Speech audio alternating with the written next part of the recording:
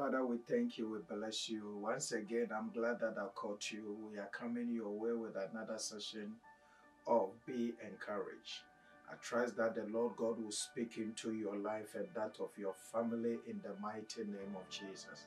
It has always been the will of God that we walk in boldness, we walk in power, we walk in wisdom in the mighty name of Jesus. And just before we go into the scriptures, let me pray with you. Father, we thank you, we honor you, we give you praise and glory. We thank you that you have made your grace available unto us all. And in your grace we triumph, we see victory. So I speak into the lives of your people in the mighty name of Jesus. Any obstacle in their lives, may your grace make the way perfect in the name of Jesus and bring them out as you have declared in Jesus' mighty name. We thank you, we bless you. In Jesus' name we pray. Amen. Precious one, just turn your Bible with me quickly to the book of Samuel, First Samuel, uh, chapter 17. And we're going to read uh, a couple of verses and then uh, we encourage ourselves. God bless you. Wonderful. First Samuel, verse number 23. We all know the story of David. And Bible says that then as he talked with his with them there was a champion the philistine of god goliath by name coming from the armies of the philistine. And he spoke according to the same words. So david held, heard them. 24 and all the men of israel listen to this. All the men of israel when they saw the man fled from him and were dreadfully afraid. Number 25. So the men of Israel said, Have you seen this man who has come up? Surely he has come up to defile uh, Israel, and it shall be that the man who kills him, the king will enrich with and the king will enrich with great riches and give him his daughter and give his father's house exemption from taxes in Israel. Quickly, let's move on to 28 and uh, to 30. It says that, and Eliab, the, his eldest brother, heard when he spoke to them, to the men. Eliab anger was arose against David and said, Why did you come down here?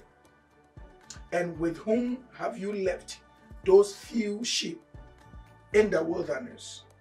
I know your pride and insolence of your heart, for you have come down to see the battle. Number 29, this is what David said. And David said, What have I done? Is there not a cause? 30, then he turned from him towards another and said, and said the same thing. And these people answered him, uh, these people answered him as the first ones did. Amen. This is the story. As you all know, uh, David was sent to give, send supplies to his brothers, foodstuffs. And Bible says when he got to the camp, they were all fine. He was talking to everybody. And all of a sudden, something happened. All of a sudden. Of course, they were in a battlefield, but nothing was happening. They were in their tents, come out, enjoy the day. But all of a sudden, the Bible says that the giant came out and spoke. And immediately the giant spoke, everything changed. Child of God, we are coming your way this hour. And maybe something is happening in your life that you don't know what to do. You are so afraid. When you read, Bible says that they were so dreadfully afraid, meaning that they don't know what to do. As a matter of fact, they all fled, went back into their tent, didn't know what to do.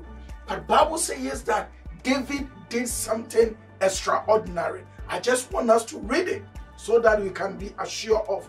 Verse number 33 says that, and Saul said to David, You are not able to go against this Philistine and fight with him, for you are a youth, and he a man of war from his youth.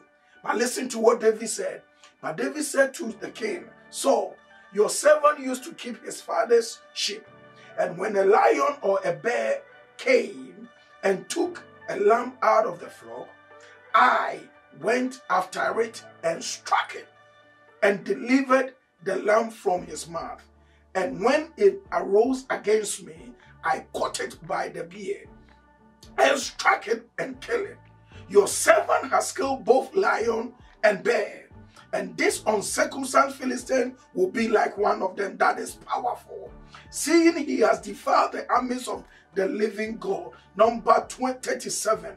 Moreover, David said, The Lord who delivered me from the paw of the lion, from the paw of the bear, he will deliver me from the hands of this Philistine.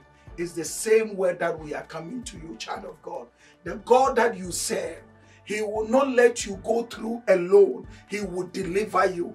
Yes, the thing may come upon you suddenly. You may not know what to do, but Bible says that as you put your confidence in the Lord, He says that don't worry, King. God has done it before, and I bet you God has done that for you before. He has done something for you that you could remember and know that this is the doings of the Lord. Don't give up. Go and confront this challenge. Confront your fear because God is on your side. Don't give up. And remember, whatever that you are doing, the Lord God is with you. This is the message that we want to encourage you with this hour. Don't give up. Confront that fear. And above all, remember, conquer fear, find hope, and be encouraged. God is on your side. Bye bye. We love you.